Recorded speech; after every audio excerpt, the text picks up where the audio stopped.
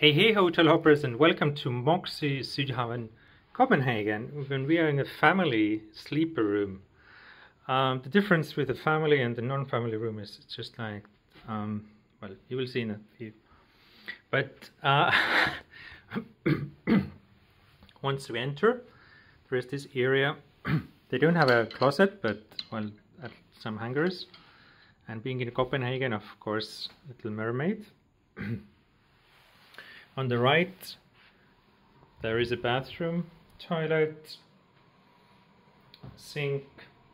They're using uh, muck amenities here.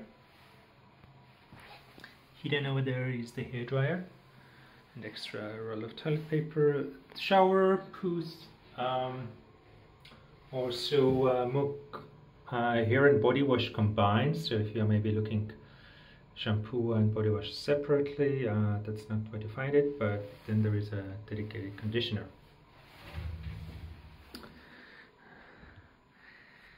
The TV supports Chromecast if you want to stream something yourself. The bed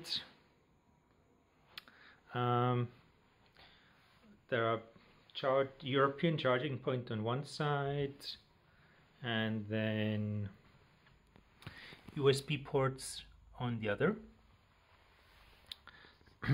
well, this time they also gave some kind of welcome amenities. They look uh, the usual um, synthetic or I don't know the non-feather pillows. And then now differently from the most of the rooms, the family sleeper room has this big couch that can convert into um, a bed, good for kids, an extra TV,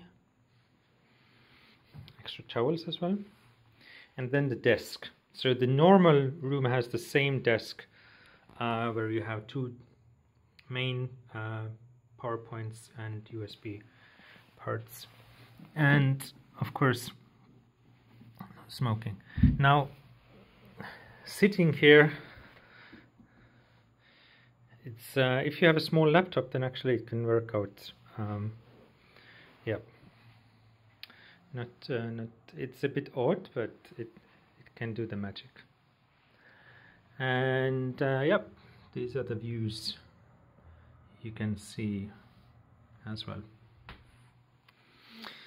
I would say quite a funky funky place and and it's very short walk away from the Sydhavn station so um, I think, a decent place to stay uh, as one of the options here in Copenhagen. If you want to see other places to stay in Copenhagen and beyond, check out other reviews in Hotel Hoppers blog, uh, YouTube channel.